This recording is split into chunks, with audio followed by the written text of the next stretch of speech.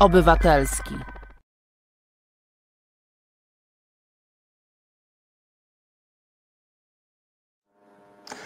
Dobry wieczór Państwu. To jest Polityczna Mafia na kanale Reset Obywatelski.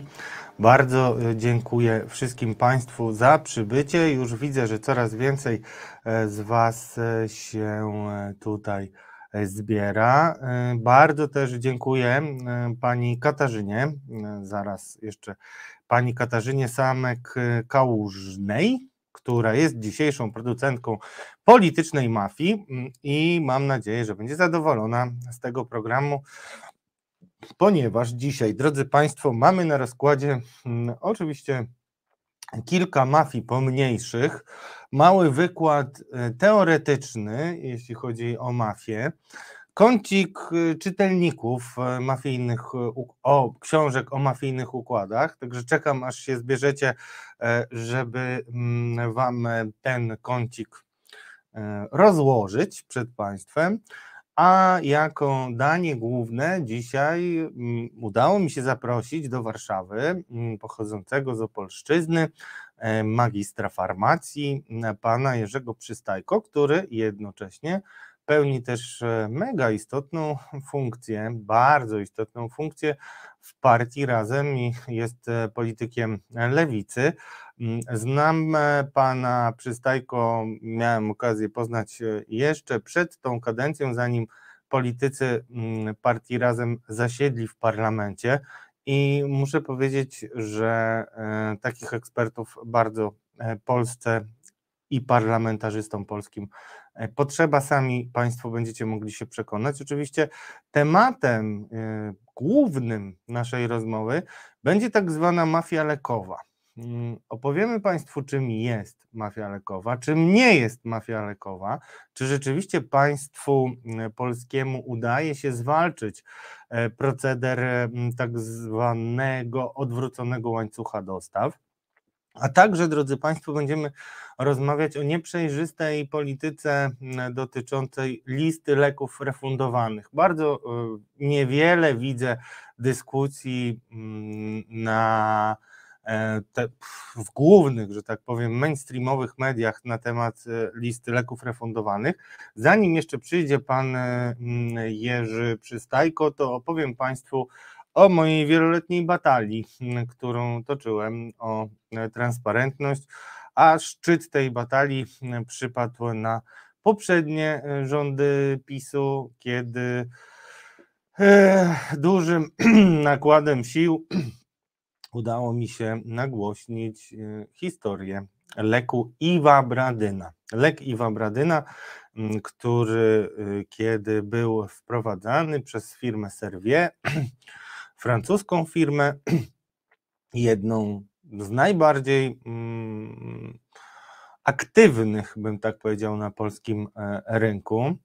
E, I to firmę, mm, która była pod wieloma względami wyjątkowa, która miała wyjątkowego dyrektora lobbystę, o którym mm, nieco opowiem, e, a także która dzięki temu, że zacząłem analizować jej działania, mm, była pierwszą w moim karierze firmą, e, którą przyłapałem na e, niezwykle bliskich i serdecznych relacjach z Kościołem katolickim. Mm, byłem wtedy w szoku i nie bardzo rozumiałem, jak to jest możliwe, że mm, współuczestnictwo w jakiejś imprezie kościelnej, na przykład rocznicy e, powołania na funkcję biskupa, może pomóc w załatwieniu pewnych spraw w Ministerstwie Zdrowia.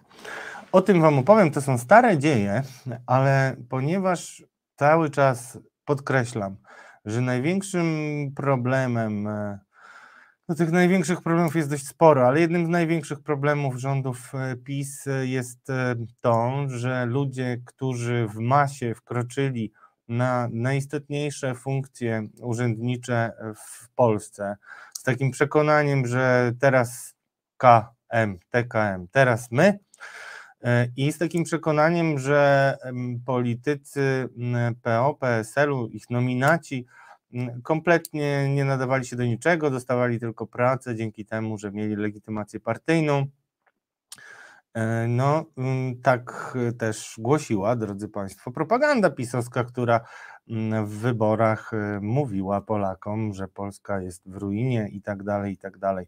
Mówię o tym dlatego, żeby Państwo zrozumieli, co tak naprawdę się stało i jakie są, moim zdaniem, moim zdaniem, bo jest to na razie mm, moja hipoteza badawcza, jak to się stało, że e, mamy to, co mamy to, co pokazuje w swoich e, programach Tomasz Piątek, to, co widzimy dzięki między innymi nagłośnionym przez Radio Z e, dziwacznym decyzjom 55 milionów dla 26-letniego doświadczonego, ale w barze barmana, który zakłada firmę mm, w wirtualnym biurze i okazuje się, że jakoś tak szczęśliwie udaje mu się Mm, złożyć wniosek do Narodowego Centrum Badań i Rozwoju i dostaje 55 milionów, przynajmniej taką, jeszcze nie przelano tej kwoty, przynajmniej taką kwotę dla niego e, przeznaczono. No ciekawe, co ten młody człowiek e, chciałby wyprodukować, o tym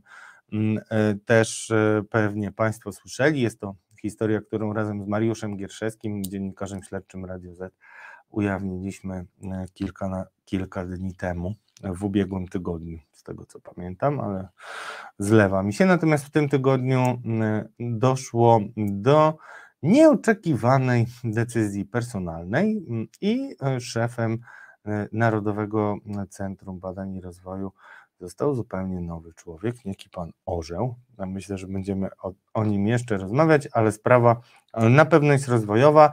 Ja, mm, drodzy Państwo, mm, cieszę się bardzo i cieszę i, i radością mą się cieszę z Państwem, że mm, istnieje duże prawdopodobieństwo, e, że ten konkurs, te granty, które tak dziwacznie były przyznawane, e, będą anulowane. I to będzie wymierny efekt y, naszej pracy, przez co też nie mogę nie wspomnieć o pracy dwóch dzielnych posłów, którzy mm, w moim głębokim przekonaniu mogą być wzorem dla parlamentarzystów, jeśli chodzi o swoje dociekanie prawdy, mm, kwerendy w ministerialnych dokumentach i tak dalej, i tak dalej. Oczywiście mam na myśli posła Dariusza Jońskiego, lewicującego posła reprezentującego inicjatywę polską w Koalicji Obywatelskiej oraz Michała Szczerbę, którego od lat, od czasu okupacji sali sejmowej nikomu nie trzeba przedstawiać. Ten duet po pierwsze jest y, niezwykle skuteczny, ale mm, to, co często umyka, to ci dwaj politycy mm, udowodnili, że można współpracować i to bardzo skutecznie, można się uzupełniać i że polityka może być e, realnie, a nie tylko deklaratywnie sportem zespołowym. Gratuluję e, panom posłom. E, życzę sobie, żeby też inne partie miały podobne, podobne pary i zespoły, które będą mm, ujawniać patologię.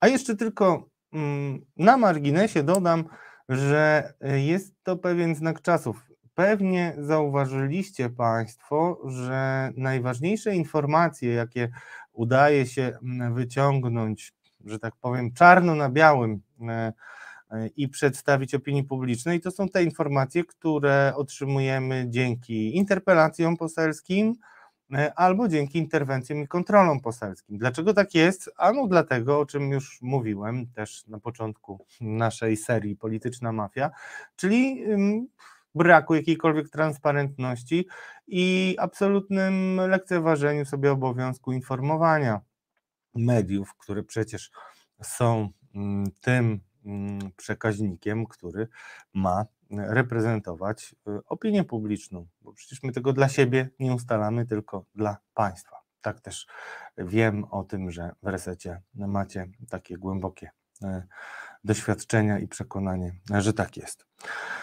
Dlatego, drodzy Państwo, mm, cieszmy się y, z tego, co mamy, natomiast też pamiętajmy, że nie jest to normalna sytuacja, że żadne praktycznie ministerstwo nie ma e, jakiejś realnej osoby e, rzecznika, który byłby odpowiedzialny za to, co mówi.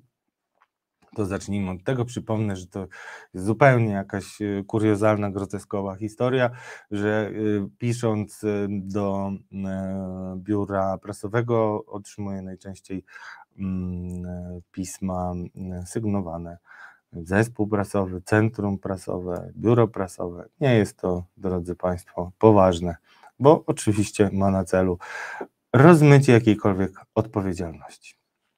Zacznijmy, drodzy Państwo, od kącika czytelniczego. Hmm. Chciałbym Państwu polecić kilka książek, które mm, będę przywoływał e, wielokrotnie, ponieważ zależy mi na tym, żeby Państwo mieli głębokie przekonanie, e, ale także pewność, szczególnie w kontekście niektórych głośnych publikacji z tego tygodnia, że nasze programy są nie tylko mm, odważne, ale też oparte na faktach, wiedzy i doświadczeniu życiowym. Bardzo mi na tym zależy. Jest to rok wyjątkowy, dlatego e, opowiem Państwu dzisiaj e, chwilkę o tym, jakie książki polecam, żeby e, zrozumieć, jak funkcjonują poszczególne układy i też Nieprzypadkowo, drodzy Państwo, o mafii lekowej będziemy rozmawiać z realnym, odważnym i kompetentnym ekspertem, e, panem e, Przystajko, bo książki o mafii lekowej nie ma. Nie ma. Może kiedyś powstanie, ale przypuszczam, że wątpię. Natomiast my będziemy o tym mówić. Natomiast muszę niestety przyznać Państwu, e, że walka z tak zwaną Big Farmą, szczególnie w Polsce, no jest. Mm, charakteryzuje się nierównowagą sił. Jeżeli bardzo niewielu dziennikarzy mm, zajmuje się taką tematyką, no to trudno, żebyśmy mieli jakąkolwiek wiedzę głęboką na ten temat. Dwa przykłady z mojego mm, zawodowego życia. Pierwsza rzecz, e, historia, którą ujawniłem e, na przełomie roku. Mm, przypomnę sobie zaraz, ile lat temu to było. Natomiast dotyczyło to, pamiętam, że to przełom roku, bo byłem wtedy na nartach i z nart, mm, w zasadzie z góralskiej chaty, pisałem tekst o tym, jak ambasador Georgette Mosbacher Ambasador amerykańska mm, interweniowała w Ministerstwie Zdrowia w sprawie konkretnych leków i to interweniowała oczywiście skutecznie. Nie tylko zresztą w Ministerstwie Zdrowia, bo też e, kwestia e, interwencji na rzecz Ubera między innymi i paru innych e, spółek miała miejsce i było to drugie, drodzy Państwo, udokumentowane mm, działanie lobbyingowe i niestety drugie, które ja napisałem, przynajmniej o innych nie wiem, jeśli je znajdę, to bardzo chętnie Państwu pokażę. Natomiast nawet jeśli ktoś to opisał, tego typu historię, to pewne jest, że było to na 17 stronie małym druczkiem gdzieś tam. Oczywiście trochę przesadzam, ale tylko trochę. E, co do e, kwestii tego, dlaczego tak jest, że nie mamy wielu publikacji o mafii lekowej, ano dlatego, i teraz uwaga, podkreślam, to jest schemat, który będzie się powtarzał e, w kilku obszarach, gdzie wkradły się i zagościły relacje mafijne. Dziennikarze medyczni, z pewnymi wyjątkami, na przykład takimi e, jak nasze gościnie w tym programie, w poprzednim jego wcieleniu, czyli Katarzis, mm, dziennikarze zajmujący się konkretnymi działami, specjalizujący się w jakiejś dziedzinie, mm, bardzo łatwo uzależniają się od informacji. To znaczy, w momencie, kiedy masz zaprzyjaźnionego ministra, rzecznika, dyrektora departamentu e, i on mm, dzieli się swoimi informacjami z tobą życzliwie, załóżmy nawet, że prawdziwie, to mm, taki kontakt e, bardzo często mm, kończy się pewnym oczekiwaniem drobnych przysług, ale też nawet jeśli takie oczekiwania się nie pokażą, to bardzo często e, za pomocą przygotowanych materiałów medialnych, kiedy się zorientujesz, w jaki sposób materiały medialne e, powstają, a gwarantuję Państwu, że i ministrowie, i urzędnicy szybko wiedzą, co to jest mięso dziennikarskie i co można wrzucić na ruszt, no to wtedy mm, mogą albo zasypać takiego człowieka, który szczególnie mógłby być niebezpieczny informacjami i tematami, dzięki czemu nie mam czasu, żeby pomyśleć o tym, e, czy na pewno wszystkie procedury mm, działają tak, jak powinny działać i czy interesy pacjentów są zabezpieczone. To primo. Sekundo, e, kwestia mm, pewnego odcięcia od informacji. Nie jest wcale tajemnicą, że na przykład e, przyjaciółka resetu Karolina Kowalska, mm, była dziennikarka Rzeczypospolitej, która mm, bardzo mocno rozliczała rozmaite kłamstwa ministerstwa i była bardzo krytyczna w stosunku do między innymi ministra Niedzielskiego, e, no, musiała się borykać ze stałym problemem braku jakichkolwiek odpowiedzi, podczas gdy, co też jest dość istotne, inne koleżanki i koledzy dostawali wiele informacji. Później macie taką sytuację, że przychodzisz do szefa i musisz się tłumaczyć, dlaczego e, dany temat jest tutaj, skoro ty przecież jesteś najlepszą dziennikarką zajmującą się e, nie służbą, ale systemem opieki zdrowotnej. Takie są niestety y, okoliczności i niuanse pracy dziennikarskiej, ale żebyśmy nie byli y, gołosłowni i żeby mieli Państwo możliwość uchwycenia, y, uchwycenia tego mechanizmu, ja go nazywam roboczo korumpowania dziennikarzy za pomocą informacji, bo jest to korumpowanie informacją. Informacja, do której wszyscy dziennikarze powinni mieć równy dostęp, warunkowany tylko ewentualnie ich e, tempem e, pisania pytań lub też umiejętnością e, bardzo konsekwentnego wydzwaniania do konkretnych osób. No, jeśli nie ma tej równowagi, a poszczególne media są faworyzowane i szczególnie zarządów PiSu widać, które media są fa faworyzowane, bo PiS stworzył zupełnie e, alternatywną rzeczywistość dla tak zwanych e, mainstreamowych mediów, ale tak jak powiedziałem, e, istotny jest mechanizm. Ten mechanizm pojawia się także na przykład w przypadku dziennikarzy zajmujących się policją. Nie chcę dzisiaj bardzo dużo o tym mówić, natomiast Niedługo powiem dużo, dużo więcej, ale chcę, żebyście Państwo sobie wytłumaczyli i odpowiedzieli na pytanie, które cały czas zawieszam w powietrzu. Pytanie jest retoryczne. Jak to się stało, że skromny dziennikarz e, Radio ZPL i Resetu Obywatelskiego oraz e, Mariusz Gierszewski, e, dumny, woka, dumny muzyk zespołu Afera i dziennikarz śledczy Radia Z, byli pierwsi e, w informowaniu o wybuchu e, w komendzie głównej policji, skoro przecież mimo wszystko, co by o nas nie mówić, nie jesteśmy dziennikarzami policyjnymi. Jak to wyjaśnić, drodzy Państwo? Ano może tak, że dziennikarze, którzy na co dzień kontaktują się z policją i mm, opierają się na informacjach płynących mm, z komendy mają mm, z jednej strony ten sam mechanizm mm, korumpowania informacjami, czyli jest grupa dziennikarzy, którzy szczególnie skrupulatnie i rzetelnie są obsługiwani przez e, spin doktorów, nawet tak bym powiedział, spin doktorów policyjnych.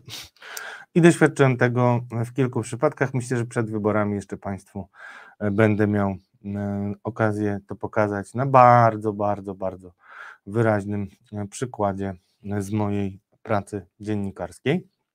Mm, ale też pamiętajmy mm, o tym, że co głupsi dziennikarze, i na szczęście już nie mówię o tych, którzy funkcjonują teraz, może poza jednym wyjątkiem, pozwalają sobie na korzystanie z rozmaitych drobnych przysług. I tutaj takie drobne przysługi, którą, e, które mogą policjanci wyświadczyć, takie jak na przykład anulowanie mandatu, albo jakieś drobne przyspieszenie mm, procedury uzyskania pozwolenia na broń powodują, że taki dziennikarz, który nie przemyśli zawczasu swoich działań i skorzysta z tego typu przysług, jest później ugotowany. Jest później na widelcu e, ludzi, którzy bardzo często zostawiają takie pułapki i bardzo często później z tych pułapek e, czerpią realne korzyści medialne. To, co e, e, chciałbym też Państwu powiedzieć, i to na pograniczu, bym powiedział, spotkania służb oraz kwestii systemu opieki zdrowotnej, to to, że swego czasu bardzo głośna e, historia grupy, która działała przy głównym inspektorze farmaceutycznym, była też historią propozycji korupcyjnej, którą otrzymałem. Mianowicie jeden z tych e, ludzi, którzy stworzyli grupę zajmującą się głównym inspektorem farmaceutycznym, ale też różnymi e, procesami refundacyjnymi i tak dalej, mm, zaproponował mi prosty układ. E, układ polegał na tym, drodzy Państwo, że miałem e, otrzymywać, jeśli dobrze pamiętam, 5 tysięcy złotych, czyli taka moja druga pensja w ówczesnym czasie, za dwa teksty miesięcznie oraz stały dostęp do informacji różnych, ciekawych, tajnych, mniej tajnych. E, prosty układ, który e, nie był oczywiście dla mnie w żadnym stopniu do zaakceptowania. To, co zrobiłem 15 minut później, to e, udałem się do mojego przełożonego, którego serdecznie pozdrawiam i jak zwykle, jak w każdym racjonalnym organizmie medialnym, zameldowałem mojemu szefowi i też naczelnemu o takiej, a nie innej próbie e, skorumpowania mnie, bo tak, tak należy jednak powiedzieć, mimo że nie byłem funkcjonariuszem publicznym, była to w moim przekonaniu próba korupcji e, i też e, dużo częściej mm, mm, patrzyłem krytycznie na rozmaite publikacje, które wiązały się z tą grupą. Kiedyś myślę, że też więcej o niej powiemy, drodzy Państwo. Jeszcze istotna historia, hmm, może trochę Was to zdziwi, ale czasami nawet przestępcy robią bardzo głupie rzeczy. I miałem taką historię, że jeden z tych ludzi, którzy mm, zajmowali się dziwnymi operacjami wokół GIF-u, GIF-u, który jest bardzo istotną e, instytucją w e, zwalczaniu tak zwanej mafii lekowej, istotną i w moim przekonaniu przez wiele lat bardzo niewydolną, gdzie są też różni na zapleczu aktorzy, którzy występowali w innych aferach, mm, o czym mam nadzieję mm, szerzej niedługo media napiszą, mm, to zdarzyła mi się dziwna rzecz i ponieważ nigdy nie znamy dnia ani godziny, e, postaram się z Państwem podzielić, mimo że jest to e, bardziej taka historia e, groteskowa i trudna do uwierzenia. Otóż któregoś dnia zadzwonił do mnie jeden z ludzi, którzy próbowali mnie wcześniej skorumpować i najwyraźniej mm, pomylił numery telefonów. Najwyraźniej próbował o mnie porozmawiać e, z jakimś swoim kolegą, przestępcą, kombinatorem, mm, hochsztaplerem, nie wiem jeszcze jakie słowa byłyby właściwe, no ale pewnie przez to tak sobie tak się staram domyśleć, zrekonstruować, jak do tego śmiesznego zdarzenia mogło mm, dojść. Y, zadzwonił do mnie człowiek, który wcześniej oferował mi 5 tysięcy e, i myśląc zapewne, że rozmawia ze swoim znajomym, mówił, że a może byśmy, mój drogi, zrobili to za darmo. Słuchajcie, ten dziennikarz to on tak, jak będzie miał takie tematy, które będą wyglądać na prawdziwe, to on za darmo nam to zrobi. Mm, no, wtedy kiedy się odezwałem, e, pan mocno e, się zdziwił i szybko rzucił słuchawką. Dostał kilka ode mnie SMS-ów wyśmiewających jego e, no, błąd, po prostu głupi błąd. I kiedy już tak sobie powyśmiewałem te jego błędy, to zakończyłem znajomość, a pan później trafił do aresztu. i pozostaje pewną zagadką, której e, osobiście e, nie podejmuję się dzisiaj rozwiązywać, bo ważniejsze jest to, żeby przekazać Państwu obraz schematów mafijnych, które żyją i mają się jak najlepiej w Polsce. Zanim zrobimy przerwę, która jest mi niezbędna e, i niestety Państwo musicie się do tego przyzwyczaić, starość, nie radość, pozwolę sobie zostawić Państwa z fragmentem e, z przedmowy do książki pana Balinta Madziara Węgry, Anatomia Państwa Mafijnego. Książka, która stworzyła w pewien mm, mm, sposób szkielet do naszych cotygodniowych rozważań. Jeszcze raz chciałem podziękować wszystkim Państwu. Widzę, że jest Was dużo więcej, mimo ferii i rozmaitych perturbacji, które pewnie mogły Was e, spotkać. Wszystkich serdecznie pozdrawiam. Jeśli macie jeszcze jakieś pytania, bardzo Was o to e, proszę. Bożena Breczko, bardzo, bardzo blisko memu sercu. Dziękuję. Na Bożenę zawsze można liczyć. Mm, wzruszyłem się, drodzy Państwo, nie będę dłużej gadał, tylko zostawię Was przed przerwą, e, która doprowadzi nas do kącika literackiego. Przed przerwą mm, taki fragment wybrałem dla Państwa. Fragment, który co istotne, został napisany najpóźniej 5 lat temu. 5 lat temu, w 2018 roku a może nawet wcześniej. Posłuchajcie. Wypada się zgodzić z Madziarem, że prawdopodobnie Kaczyński nie zbija na boku prywatnej fortuny, a ludzie bezpośrednio z nim związani trzymają się parametrów normalnej politycznej chciwości, cechującej środowiska, które po wielu latach doszły do władzy. Dwie wątpliwości jednak pozostają.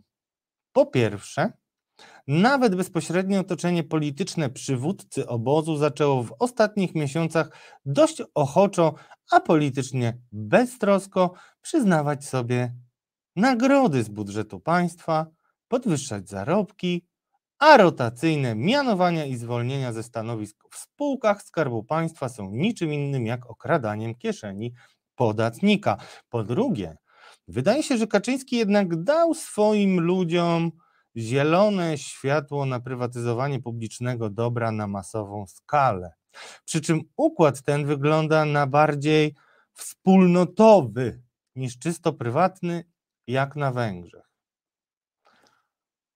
Mam tu na myśli fakt, że zamysł zdaje się polegać na tym, by poprzez liczne amerytokratyczne synekury i bezpodstawne awanse wzbogacać ogólną zasobność obozu rządzącego.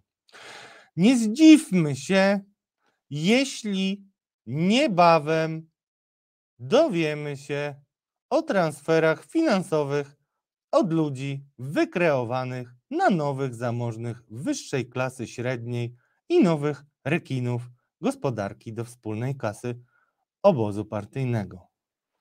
Czy coś Państwu świta? Nie sposób nie odnotować też politycznego wykorzystywania siły finansowej wielkich spółek Skarbu Państwa do walki z politycznymi konkurentami. W nawiasie Energa, Orlen, PWPW są bezpośrednio zaangażowane w zwalczanie pluralizmu politycznego w Polsce. Konkludując, wypada się zgodzić, że w Polsce korupcja i klientelizm nie osiągnęły takiego poziomu jak na Węgrzech, lecz jest to wynik głównie po prostu czasu. Drodzy Państwo, pięć lat temu te słowa napisał profesor Radosław Markowski. Jak myślicie, czy udał się do Delf, do wyroczni, kupił sobie kryształową kulę, w której to zobaczył, a może po prostu ci, którzy ostrzegali przed patologią wiążącą się z monowładzą, mieli rację już od dawna. Zapraszam na przerwę, po której wracamy.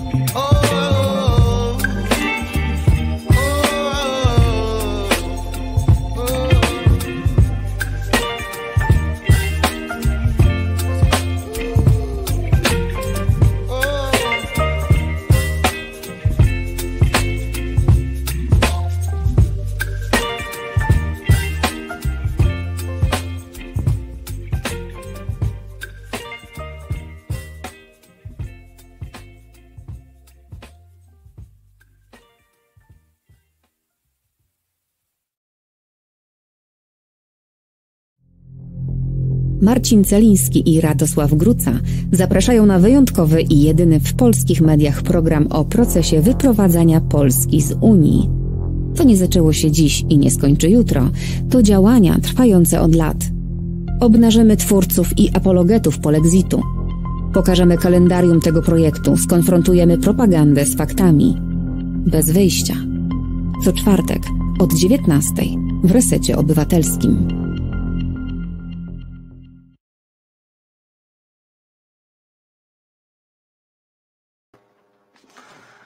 Wieczór Państwu. To jest e, Polityczna Mafia w Resecie Obywatelskim. Wracamy.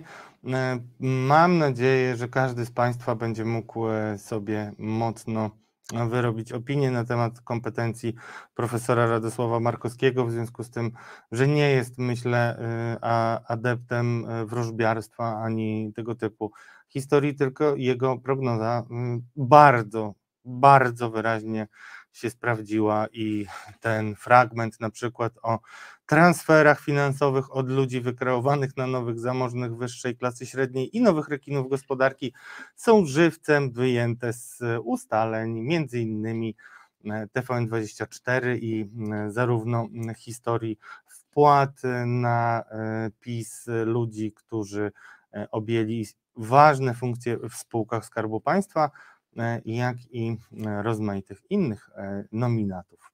pasuje jeden do jednego. Na koniec jeszcze jeden fragment. E, konkludując i przyjmując normatywną optykę wartości cywilizacji Zachodu dotyczących jakości życia publicznego, można powiedzieć tak. W Polsce Kaczyńskiego mamy na razie normalną patologię, na Węgrzech Orbana patologiczną normalność. Z tym Państwa E, z tą myślą Państwa e, zostawię. I teraz jeszcze szybki e, przegląd literatury, czyli taka mini bibliografia politycznej mafii, drodzy Państwo. Pokażę Państwu kilka książek, które pozwoliły mi sobie wyobrazić, w jaki sposób ta mafia powstawała. I cóż, na początek Pajęczyna, syndrom bezpieki E, książka, którą napisała pani Barbara e, Stanisławczyk i Dariusz e, Wilczak. To jest książka sprzed wielu lat i dlatego też Państwu dzisiaj przyniosłem te książki, ponieważ po latach one zyskują zupełnie nowy wymiar. To jest książka wydana w 2010 roku. Ona pokazuje, w jaki sposób funkcjonowała, to jest reporterski zapis historii Służby Bezpieczeństwa. Piotr Niemczyk. Szósta rano kto puka. Bardzo ciekawy dokument pokazujący pewną chwilę. E, chwilę, e, która później e, niestety nie zatrzymała złych procesów. Szczególnie cenię tutaj fragmenty, w których pan Piotr Niemczyk mm, analizuje działania policji, statystyki, E, i też bardzo wiele oryginalnych e, spostrzeżeń. Między innymi e, to, co zapamiętałem, to mm, wzrost przemocy domowej w dniach, kiedy ulubione drużyny przegrywają mecze. To jest dramat. 2018 rok.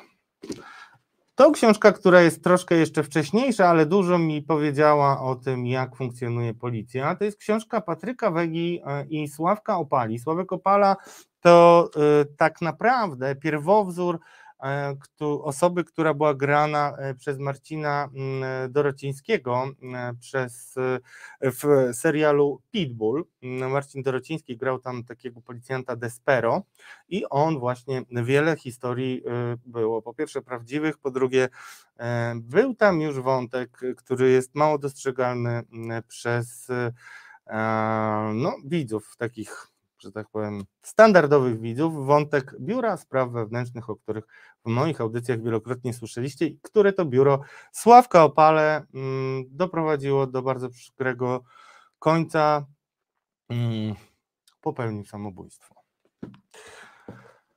Ukradzione miasto, Jan Śpiewak, nie chcę się rozwodzić na ten temat, kiedyś byłem zachwycony tą książką, Szczerze mówiąc, do dzisiaj jestem zachwycony, mm, bo pokazuje taki podręcznik rewolucjonisty i szkoda, że na tej książce y, rzeczy, które Jan Śpiewak robi, a które cenię się skończyły. Na koniec nie przypadkowo zwracam uwagę na Macierewicza i jego tajemnicę, Tomasz Piątek. Nie chodzi mi nawet o same odkrycia, które ostatnio skończyły się wygranymi procesami przez e, Tomka Piątka. Zresztą bardzo jestem dumny z tego, że jedna trzecia dotyczy między innymi powiązań Jacka Kotasa, e, o którego e, historii pisałem w gazecie Fakt. Ale istotne jest to, w jaki sposób Tomek e, buduje, e, pokazuje relacje, które mogą tłumaczyć e, pewne zależności, biznesy i też uzależnienia. I są to relacje, które idealnie pasują do dyskusji na temat państwa mafijnego. No i oczywiście Biblia naszego programu, Węgry, anatomia państwa mafijnego. O tym dużo jeszcze będziemy rozmawiać. Tyle teorii, a teraz, y, moi drodzy, mam zaszczyt już przedstawić y, mojego gościa, którym jest Jerzy Przystajko. Dobry wieczór. Jerzy Przystajko, którego poznałem lata temu. Y, Jerzy Przystajko jest politykiem razem i też ekspertem tej partii w zakresie systemu opieki zdrowotnej, ale mnie osobiście, przyznam, najbardziej imponuje jego rozumienie pewnych procesów dotyczących polityki lekowej, E, I też to chyba nie jest tajemnicą, gdzie pracujesz, że też na bieżąco e, masz, e, miałeś przez wiele lat kontakt z pacjentami przy okienku w aptece, więc mm, łatwo, mam nadzieję, będziesz mógł zacząć naszą historię e, i dyskusję o mafii lekowej od tego, co jest jej najbardziej bolesnym chyba objawem dla e, zwykłych e, obywateli, dla zwykłych pacjentów, bo ci pacjenci bardzo często przychodzą do apteki i szukają konkretnych leków, które bardzo często przyjmują regularnie od wielu, wielu lat. I niestety nawet wspaniały Jerzy Przystajko nie wymyśli ich tych leków, bo ich po prostu nie ma. Jak to się dzieje? Tak, zaczę- zaczęliśmy od mafii lekowej, więc y, to już wywołałeś e, jeden ważny mechanizm, który powoduje braki leków i to jest nielegalny wywóz ich za granicę. Pokrótce jak to działa, dlaczego się dzieje. Mamy w Polsce ceny leków na tle Unii Europejskiej zbliżone bardziej do Indii i Azji niż do Europy. Czyli konkurencyjne. No, bardzo konkurencyjne, tak na tle zachodu. Oczywiście to jest y, powiązane jeszcze z drugim zjawiskiem, że mamy jedno z najwyższych y, poziomów współpłacenia za leki, także my odczuwamy w kieszeni dosyć ciężko te leki. Tak? I Jest też jesteśmy- paradoks. I też jesteśmy, to jest margines, ale niestety trochę mnie y, bolący. Jesteśmy też społeczeństwem, które leki przyjmuje na potęgę. W zasadzie, jak sobie wyobrażamy, y, no, no, rynek też y, nie tylko samych No, ale tu leków, mówimy o lekach na receptę Tak. bardziej, także Tak, tak. y, raczej uważam, że jesteśmy społeczeństwem, które, które leki na receptę przyjmuje a, średnio. Okej. średnio. Leki bez recepty zostawmy to na boku. y, Ten Jeszcze, jeszcze mechanizm. też wytłumaczmy, bo może niektórzy nie zastanawiali się nigdy nad tym, więc warto tylko uporządkować. Te leki na receptę to są leki refundowane, czyli państwo dokłada do ceny, którą ustala e, z producentem określoną kwotę, no więc producent automatycznie ma pewny zysk e, i w zasadzie musi walczyć o to, żeby jak najpopularniej, e, jak, jak najbardziej spopularyzować lek. Proszę, drogi Tak, Jerzy, wraca, wracamy, wracamy do mechanizmu, który zrodził mafię lekową. Państwo polskie na leki na receptę, jak słusznie zauważyłeś, ustala ceny urzędowe. To znaczy, producent musi w tej cenie sprzedawać lek w Polsce, musi go sprzedawać w ustalonej cenie na poziomie hurtowni. My musimy go w ustalonej cenie sprzedawać w aptece. Ta cena jest bardzo atrakcyjna na tle Unii Europejskiej. I e, dochodzi tutaj do sytuacji, w której tworzy się pewna okazja biznesowa. Bo jeżeli kupię leki w Polsce w tej atrakcyjnej cenie, zbliżonej do cen azjatyckich, i odsprzedam w cenie konkurencyjnej w Niemczech, gdzie też oczywiście leki są, mają Mhm. swoje ceny i są drogie, y, to y, nawet jest to przebitka i dziesięciokrotna ceny, kilkukrotna, a jak wiadomo, e, takie przysłowie przytoczę, że dla zwrotu 10% kapitał jest w stanie zrobić wiele, a dla zwrotu 100% kapitał jest w stanie zabić. I e, jeśli chodzi o wy, i wywóz te wasze, leków, wy i te wasze lewicowe powiedzonka. no, no takie, Oczywiście. Nie, to oczywiście. To, ale to taka jest rzeczywistość wywozu leków. Y, To są leki ratujące życie. To sobie powiedzmy jasno, że e, mówimy o lekach przeciwzakrzepowych. e, Możemy mówimy. mówić też o konkretnych, bo ja znam takie konkretne tak, leki. mówimy o leku. e, Mówimy, Kleksan, który tak, ja sam Kleksanie. sobie strzelałem, drodzy Państwo, w, w brzuch, więc go znam i wiem, jakie, ale za dobrze wiem, jakie mogą być skutki braku tego leku. Tak, no trzeba go podać. Niestety, jak go nie ma, to nie ma czego podać. Yy, I utworzył się pewien, pewnego rodzaju biznes. Yy, Biznes polegający na tym, że kupujemy leki w Polsce w atrakcyjnej cenie, sprzedajemy je w Niemczech, sprzedajemy w Szkocji, sprzedawane są yy, we Francji. Yy, Samo w sobie zjawisko, bo to się nazywa eksport równoległy, nie jest szczególnie penalizowane w samej Europie dlatego że między krajami starej Europy Mhm. nie ma wielkich różnic cenowych. Więc to jest zjawisko w pewnym sensie marginalne. No, kupiłem trochę taniej w Niemczech, odsprzedaję trochę drożej we Francji, nie powoduje tu do dużych e, zawirowań. Z tym, że kiedy jest tak potężna zachęta biznesowa do tego, by leki wywozić z kraju, z Polski, to mamy sytuację, że opłaca się to tak bardzo, że powoduje braki na rynku polskim naprawdę ważnych leków.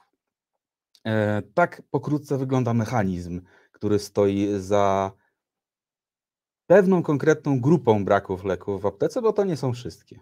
To w takim razie dwa podstawowe pytania. Pierwsze, czy to jest legalne? I drugie, czy ministerstwo nie ma, ministerstwo, rząd, administracja państwowa nie ma obowiązku, choćby wynikającego z konstytucji, żebyśmy my mieli stały dostęp do leków, szczególnie ratujących życie. Bo ja też mam takie wrażenie, że wiele, mm, że jest jakaś nawet bym powiedział, zmowa milczenia w stosunku do tego, jakie konsekwencje mogą ponosić pacjenci. Znaczy, oni umierają w domach, albo trudno jest y, ustalić przyczynę ich śmierci. To jest moje takie wewnętrzne przekonanie. No, wiem, że pan y, jako ekspert i, i polityk też musi ważyć y, słowa. Ja też zastrzegam, że, że to jest moje przekonanie, bo trudno to mi inaczej wytłumaczyć, jeżeli mamy ewidentne braki E, a e, nie widzimy mm, korelacji, bo ich oczywiście nikt nie chce zauważyć. To jest inna kwestia, przynajmniej znaczy, to jest, to jest kwestia, e, myślę, że warto to podkreślić, to jest kwestia, na której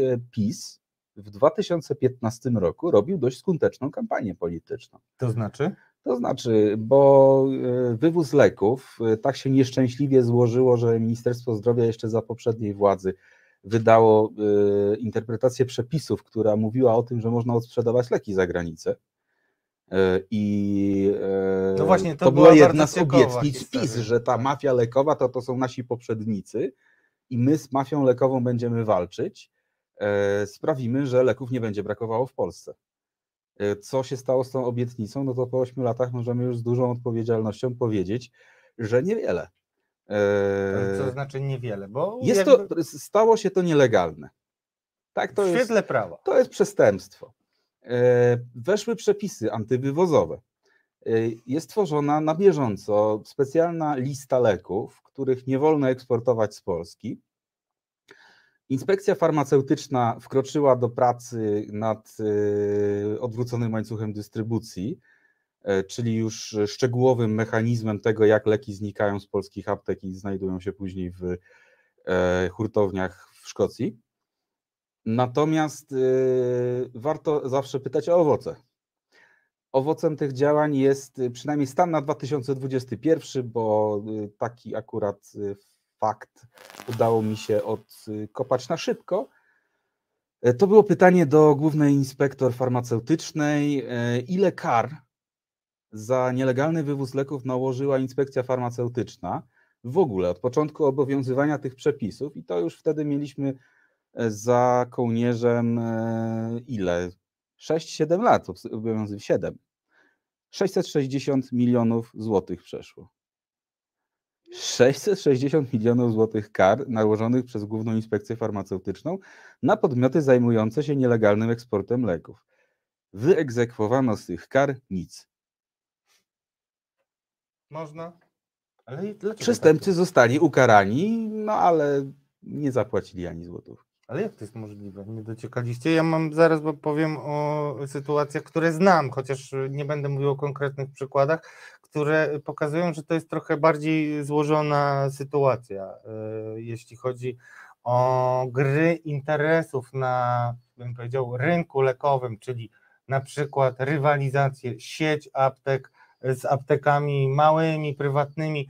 Nie chcę w to wchodzić, natomiast rzeczywiście takie zależności i, i konflikty, nawet bym powiedział, e, istnieją, ale to naprawdę 660 milionów kar i zero egzekucji, to trochę mi przypomina skandaliczną historię mafii VAT-owskiej, która jest odmieniana przez rządzących przez wszystkie przypadki, tylko kiedy mm, dziennikarze TVN Superwizjera pytali o to, ile realnie udaje się od mafii VAT-owskiej E, która przecież te miliardy y, wyprowadzała z budżetu, tak przynajmniej PiS to pokazywał, ile się udało tej administracji Zbigniewa Ziobry y, i PiSu y, uzyskać. No i jest w ogóle problem z ustaleniem tej kwoty, tak jest niewielka.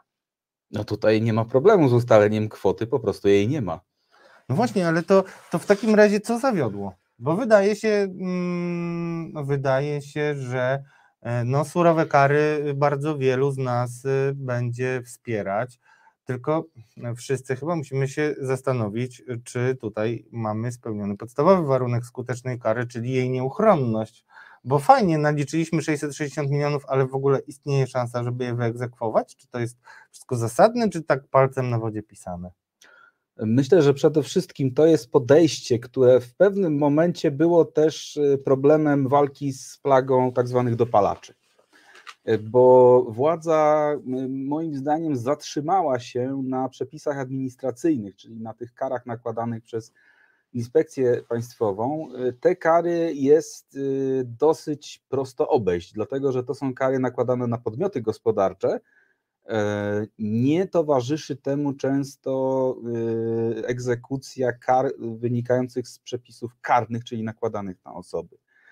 E, Historie wyglądają tak, że potrafi to wyglądać tak, że upada jedna wywozowa apteka i w jej miejscu powstaje druga wywozowa apteka. To jeszcze y, jakby pan mógł powiedzieć, co to są apteki wywozowe, bo jeszcze poza jakby Tak, samymi biznesami... Pójdźmy teraz Mhm. do, do tego, jak to wygląda w szczegółach. Mamy aptekę, która zamiast yy, sprzedawać leki pacjentom, z czym się e, pewnie świetnie kojarzy wszystkim apteka, e, sprzedaje te leki na przykład przychodni.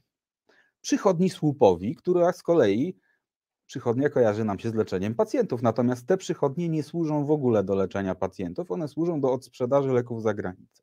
To są takie e, jakby słupy, tak to naprawdę słupy. firmy słupy, które pozwalają To są słupy. zalegalizować czy ukryć ten proceder? Mm, No uk- ukryć, tak? to, jest, y, to jest raczej ukrywanie tego procederu, a raczej sprytne korzystanie z furtki, którą zostawia polskie prawo.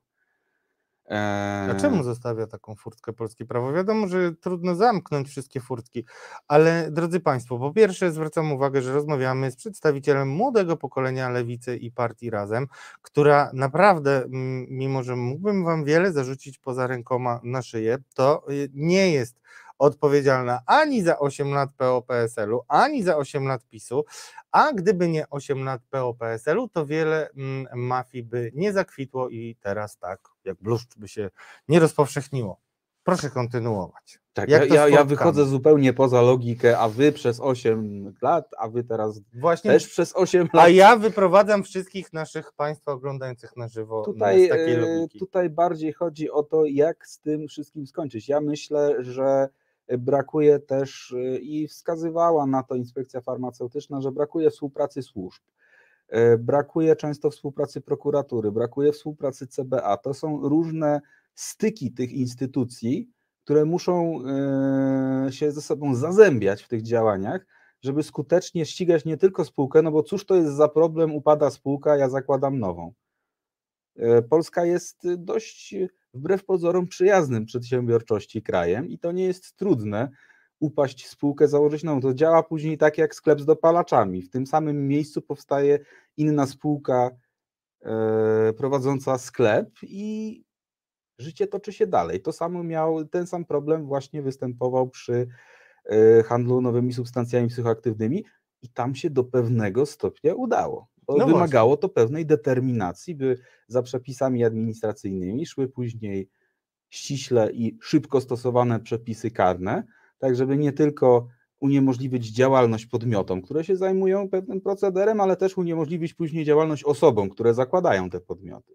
Czyli rozumiem, Panie y, Jurku, że trochę Pan chwali kolegę z Platformy Obywatelskiej, bo to. Donald Tusk powszechnie jednak odsądzany od czci i wiary i też krytykowany za taką, no bym powiedział, nieco populistyczną e, No, walkę do- z Dobrze, no to dopalaczem. jak już i poszliśmy do chwalenia Donalda Tuska i jesteśmy przy dopalaczach, to ja pochwalę Donalda Tuska. E, Prawo Donalda Tuska, które było wprowadzone wtedy, e, uznania nowych substancji psychoaktywnych za tak zwane środki zastępcze, to była nowa kategoria. E, Krótkie wyjaśnienie, to są środki, które e, no, powiemy, że są wykorzystywane jako narkotyki.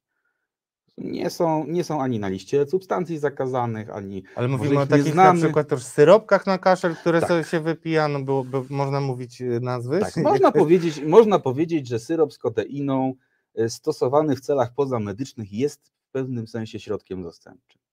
No, wypicie takiego. Chociaż e, może, może to jest zła definicja, bo kodeina się znajduje na liście narkotyków, także ona, jeżeli stosujemy ją w celach pozamedycznych, to ona zupełnie e, śmiało może być nazywana narkotykiem, ale e, dajmy na to e, jakieś stosowane w celach pozamedycznych inne leki. No nie wiem, młodzież lubi czasem aviomarin zastosować w celach pozamedycznych, żeby się kręciło w głowie. Y, Taki środek to jest środek zastępczy. To jest zasługa Donalda Tuska i jego ekipy, że taka kategoria w ogóle się w polskim prawie pojawiła. I to do pewnego y, stopnia było skuteczne. Ja miałem wtedy styczność y, za młodu z medycyną sądową od strony laboratorium i e, skutek tego prawa był widoczny, bo zestawienie niezidentyfikowanych zatruć, które trafiały na opolski SOR, zmieniło się w sposób y, niemal cudowny. Tak jak y, przy nowych substancjach psychoaktywnych no było dużo niezidentyfikowanych zatruć. Wiadomo było, że przy, przyjeżdża człowiek, który wygląda na zatrutego czymś działającym podobnie do amfetaminy, podobnie do morfiny, ale nie bardzo można było ustalić, co to jest. E, Tak, e, po wprowadzeniu prawa e, Donalda Tuska to się zmieniło na rzecz tak zwanych starych narkotyków. To też nie jest dobrze, że ludzie się zatruwają, ale dobrze, jeżeli wiemy, jak ich leczyć i wiemy czym. Na pewno nie jest dobrze, jak się zatruwają, a wiemy wszyscy, że e, dzieci zostały rzucone na pastwę losu. E, Ja to mówię jako rodzic bardzo autorytatywnie. Mm, Wszystkich Państwa, bo widzę, że Was jest coraz więcej i bardzo Was zaciekawiły mm, poglądy i też informacje, które przynosi e, Pan e, Jerzy Przystajko. Zachęcam też do tego, żebyście pisali pytania i na pewno nasz wspaniały realizator Marcin nam je pokaże na ekranie i będziemy e, mogli e, myślę, bez problemu, dzięki kompetencji pana Jerzego, na nie odpowiedzieć.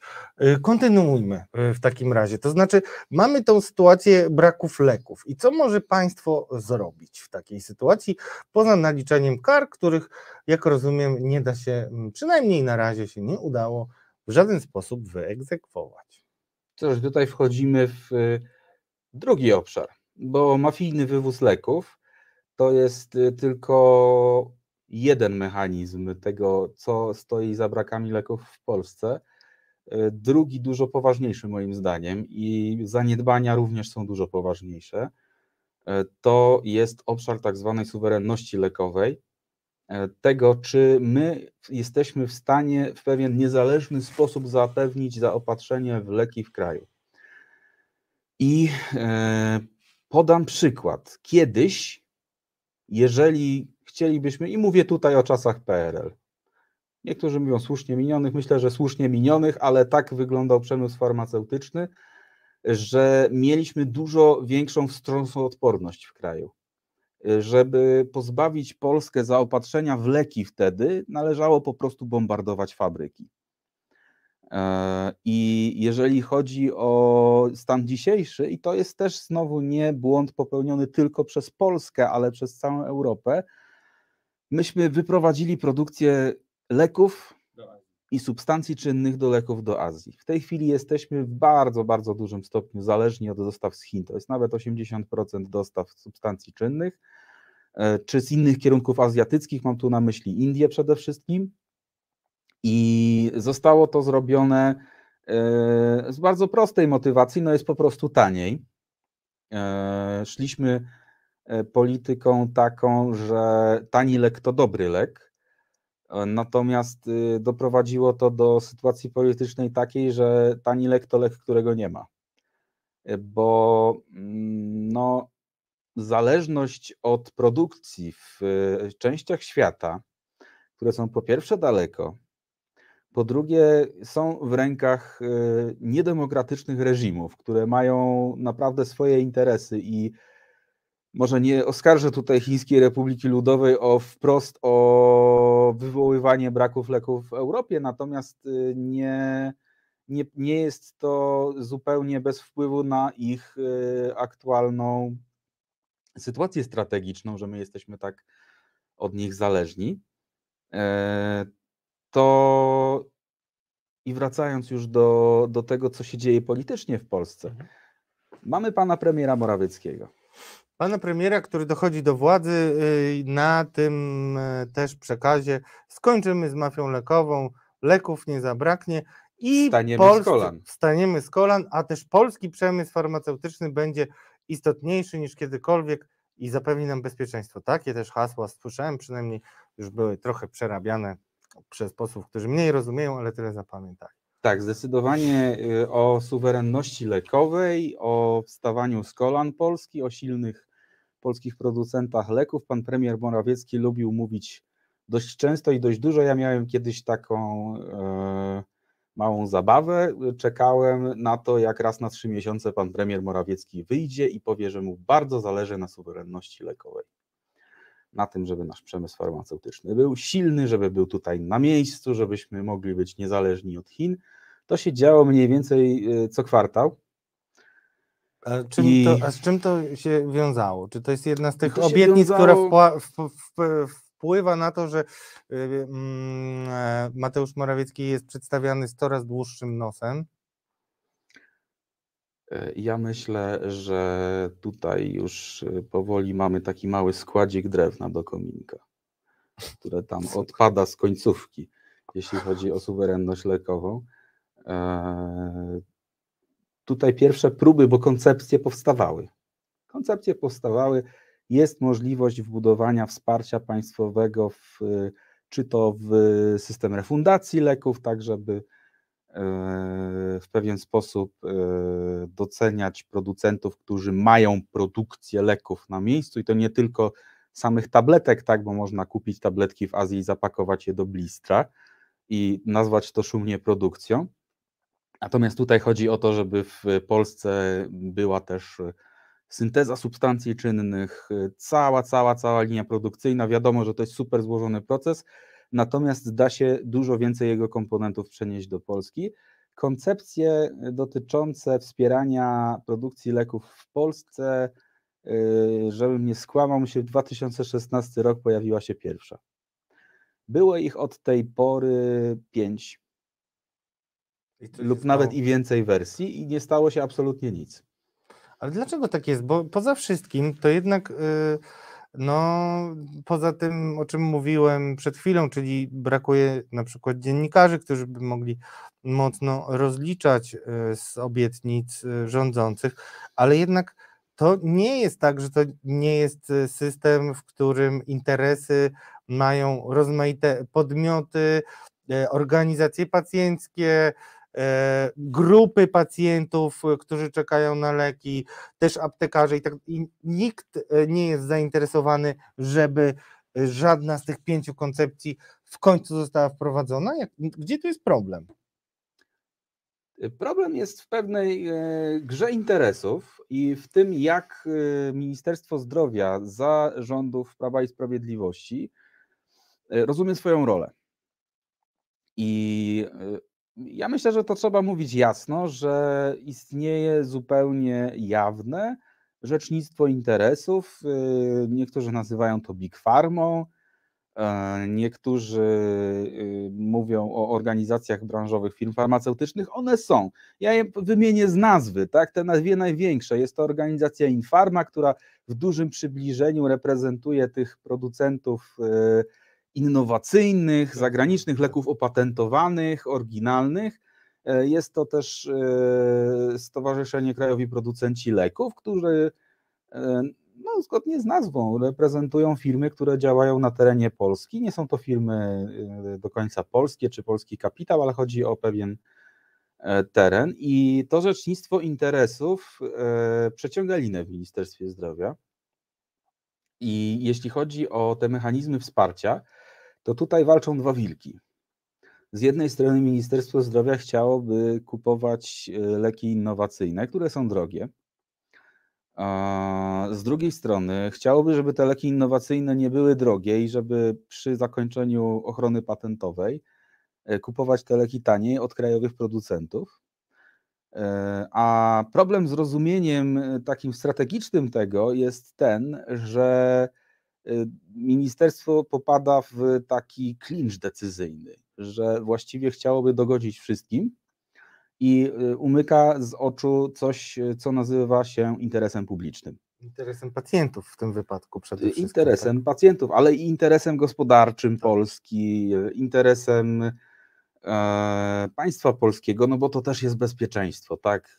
No, Powiedzmy to sobie jasno, jak będziemy mieć produkcję leków na terenie kraju, to na wypadek wojny nie zabraknie nam na przykład ibuprofenu.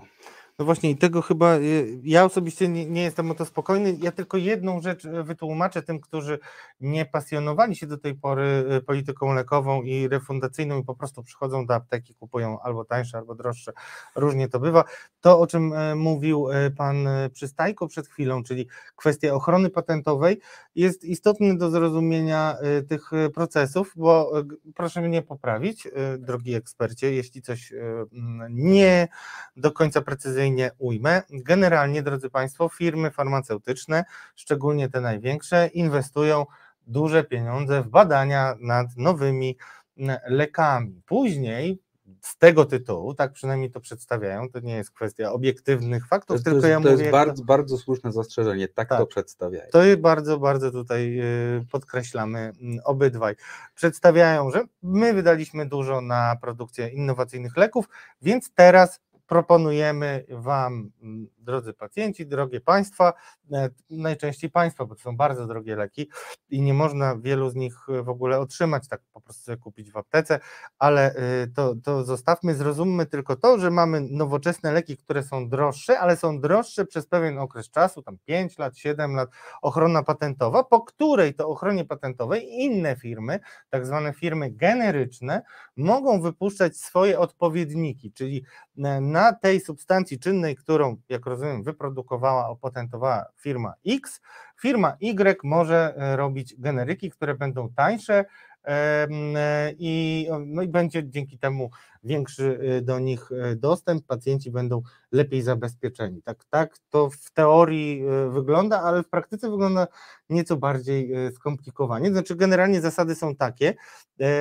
a co do formułowania priorytetów przez e, Ministerstwo Zdrowia na przestrzeni tych lat. Czy, czy rzeczywiście mieliśmy trzech ministrów? Konstanty Radziwiłł, hrabia y, książę jakiś, y, obecnie wojewoda do niedawna, teraz już y, ambasador, czyli zna się na wszystkim. E, Później Łukasz Szumowski, y, za którym do końca życia, mam nadzieję, będzie się ciągnęła historia respiratorów, ale także y, kilku historii, o których możemy jeszcze za chwilę przypomnieć, dotyczących tego, co się działo w Departamencie Polityki Lekowej e, podczas przygotowania tak zwanej listy leków refundowanych, to też, żeby Państwo wiedzieli, to są właśnie te listy, które dzięki receptom możemy otrzymać e, w aptekach, e, ale też dopłaca do nich państwo. I w zależności od tego, jak skutecznie będzie negocjować dana firma e, i jakie argumenty przedstawi, ministerstwo może wpisać taki lek, co oznacza Eldorado dla e, takiej firmy, albo może go nie wpisywać. I zasady, na których mm, pracuje, można nazwać hmm, mało transparentnymi chyba. Myślę, że można je zupełnie nazwać odpowiedzialnie nietransparentnymi. Na dzień dzisiejszy dużo więcej wiemy o zakupach amunicji dla naszej armii. Co, Co też nie jest przypadkiem, tak, co za ile, Tomek co za ile od kogo, tak? E, ale jest to dużo bardziej transparentny sektor niż zakupy leków do szpitala. E, Nie wiemy właściwie nic o tym, jak wyglądają dyskusje w e, różnych instancjach ciał decyzyjnych w Ministerstwie Zdrowia. Nie mamy uzasadnień jawnych e, decyzji o refundacji. Mamy tylko decyzję, że ta refundacja będzie. A tak zawsze było, że nie było żadnych dokumentów? E? Od, cza- to, jest e, obowiązywanie obecnej ustawy refundacyjnej, ale ta innowacja dotycząca e, zmniejszającej się jawności przypadła akurat na rządy PiS. E, Zresztą dosyć szybko wprowadzono właśnie różnego rodzaju niejawne klauzule, które pozwalają na e, stosowanie tak zwanych e, mechanizmów współdzielenia ryzyka. I w dużym skrócie to są mniej lub bardziej wyrafinowane rabaty na te leki, które dzięki temu są ukryte przed oczami reszty Europy. Czyli my się umawiamy mm, na jakąś konkretną cenę, negocjując nasze ryzyko i też, drodzy Państwo, to tutaj powiem na przykładzie Iwa Bradyny, to jest trochę stary przykład, ale mam nadzieję, że niektórzy z Państwa jeszcze to pamiętają, a to jest historia, którą osobiście robiłem, walczyłem o nią bardzo długo. Historia Iwa Bradyny e, była taka, i mówię to z pełną odpowiedzialnością, no, mogę też na wykrywaczu kłamstw, przed prokuraturą, wszędzie. Historia Iwa Bradyny była taka, że za Iwa Bradyną, której producentem była firma Servier, e, stał genialny lobbysta. Nie będę mówił, jak się nazywa dzisiaj, bo y, szanuję go za to, że po tej publikacji odszedł y, z, ze swojej działalności i zajął się czymś innym. Ale y, ten lobbysta potrafił dokonywać rzeczy bardzo spektakularnych, tym bardziej, że firma Servier była uznawana za mm, producenta, którego leki nie dają spektakularnych efektów, tak to powiem z ostrożności procesowej. I Iwa Bradyna była lekiem, nawet do dziś pamiętam, lekiem, który zgłoszono do refundacji na dusznicę bolesną. Dusznica bolesna to takie, nie wiem, to tak, taka, że tak powiem, podgrupa specyficzna e, choroba, która towarzyszy chorobom na, na- chorującym na nadciśnienie. E, Ta dusznica bolesna to pacjentów, powiedzmy już teraz będę z głowy mówił, dotyka, nie wiem, 15 tysięcy pacjentów, więc firma walczyła jak lew, żeby wpuścić Iwa Bradynę na listę leków refundowanych, żeby zrobić potem wielki skok na pacjentów wszystkich z nadciśnieniem i ró- różnymi chorobami kardiologicznymi. Drodzy Państwo, wedle moich y, estymacji, ale naprawdę poważnych, firma chciała na tym zarobić okrągły miliard złotych. Takie były prognozy. I na szczęście nie zarobiła, ponieważ zrobiło się duże zamieszanie, a ten lek można y, o nim y, długo dyskutować. Ale zasada była taka: wpuszczamy lek na listę dla tych 15 tysięcy, potem idziemy ze wszystkimi możliwymi mechanizmami wpływu do lekarzy i namawiamy ich: przepisujcie, przepisujcie, przepisujcie. Dlaczego o tym mówię? Dlatego, że dokładnie tego typu y, historie przeprowadziła firma Servier z poprzednim lekiem, który miała. To był lek na y, żylaki, drodzy Państwo, i tylko pozwolę sobie, a to był lek, który był dla, mm, e, dla określonej grupy pacjentów e, po bardzo atrakcyjnej cenie, a może wręcz za darmo. I ci właśnie pacjenci, to byli chyba inwalidzi wojenni, ale nie chcę y, wprowadzać Państwa w błąd, ale w każdym razie grupa uprzywilejowana y, dostawała w zasadzie przy każdej wizycie u, u lekarza dostawała y, tak, taką receptę y, na dany lek, y, i można było te leki siatkami potem wykupywać y, z aptek, na czym firma zarabiała bimbaliony e, złotych. Tak to wyglądało, a jak to wygląda e, teraz firma Servier już tak sobie dobrze nie radzi, e, mm, ale mm, mamy innych e, poważnych beneficjentów i poważnych graczy i kiedy zapraszałem pana Jerzego e, do programu, e, to e, pan Jerzy przypomniał historię, którą sam też opisywałem, czyli historię mm, magicznych umiejętności ambasador Georgette Mosbacher, która pisała do Ministerstwa Zdrowia, czy mógłby nam pan nakreślić tło tej korespondencji i na ile to jest nietypowa historia, którą warto było opisać? Tak, ja przeczytałem y, na czacie, spojrzałem y, na to, że lobbying to nic złego i ja szczerze powiedziawszy, co do zasady się zgadzam. E, Natomiast uważam, że jawność to jest też nic złego i w momencie, kiedy Nie, lobbying... jawność to samo dobro, drodzy Państwo, E, moim tak, zdaniem. To w momencie, kiedy lobbying odbywa się w y, pewnych granicach jawności, gdzie może wystąpić nad tym kontrola społeczna, e, to wszystko jest na swoim miejscu. Natomiast sytuacja pani ambasador Georgette Mosbacher, no po prostu powiem, e, powiem bez ogródek. Wyglądało to tak, jakby decyzje refundacyjne nie zapadały w gmachu Ministerstwa Zdrowia na Miodowej, tylko w gmachu ambasady amerykańskiej i pan redaktor ujawniał e, pisma ambasador Mosbacher, e, do których później w dość upokarzającym trybie stosował się polski rząd. E, A dotyczyła sprawa e, również blokowania konkurencji. Y, Mówiliśmy o tym, że wchodzą leki nieopatentowane. Jest taki moment, gdzie wygasa patent, możemy kupić taniej. To firmy amerykańskie, w ogóle wielkie firmy farmaceutyczne, tak zwane innowacyjne, y, nie są szczególnie zadowolone z tego mechanizmu, że patent im w ogóle wygasa. Mówiąc, walczą, mówiąc e, bo, bo, bo panu nie tak. wypada pewnych słów powiedzieć, ale z mojego doświadczenia mogę powiedzieć, że walczą do upadłego, jak, ten, jak tę ochronę patentową, która wygasła, przetrzymać jeszcze chociażby o kolejny kwartał, o, kilka kolejną miesięcy, tak. Każdy O miesiąc kilka to miesięcy. miliony, dziesiątki milionów złotych, drodzy Państwo. Wydawałoby się, że, że 6 miesięcy to to jest mały czas, a tutaj jest walka jak lew. Eee, Tam walka dotyczyła między innymi, żeby Państwo wiedzieli, że to nie są jakieś tam leki, które dotyczą promila pacjentów. To e, były leki na raka piersi. Dokładnie. To były leki na raka piersi, jeden z najpopularniejszych nowotworów e, w ogóle i najpopularniejszy nowotwór kobiecy. i potencjalnie naj, jeden z naj, najlepiej leczonych, jeżeli mamy dostępność do leczenia i dobrych onkologów. Tak, zdecydowanie. I ja myślę, że e, wtedy składaliśmy, składaliśmy wnioski, e, ponieważ e, nasz nieprzejrzysty system decyzji refundacyjnych, no jednak jest nie do końca nieprzejrzysty i wnosiliśmy o ujawnienie korespondencji z firmami farmaceutycznymi.